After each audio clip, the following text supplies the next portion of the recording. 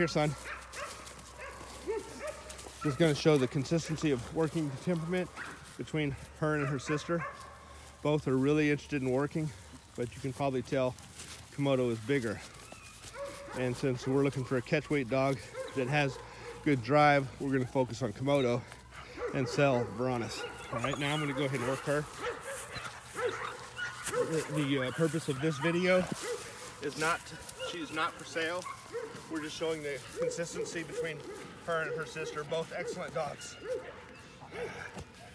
Good girl. Good girl. Yeah, good girl.